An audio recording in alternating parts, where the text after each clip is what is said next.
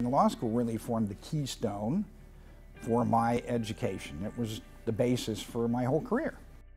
I'm Jim Byrd, and I am both proud and fortunate to have attended the University of Dayton at both the graduate level, where I received my Juris Doctor from the School of Law in 1984, as well as at the undergraduate level, where I received my degree in criminal justice in 1980.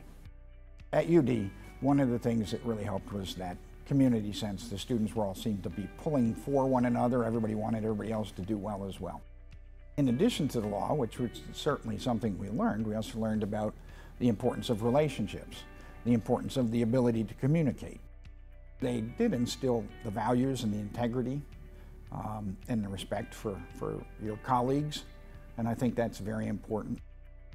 And those are things that serve you well in your career, because I did when I was out and, and working at LexisNexis and other places, it really was important. The lawyers were often the ones who would analyze the situation and come up with the solution that works.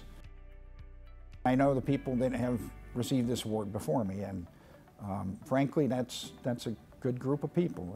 It's, um, I'm privileged to be involved with those or to be included with them.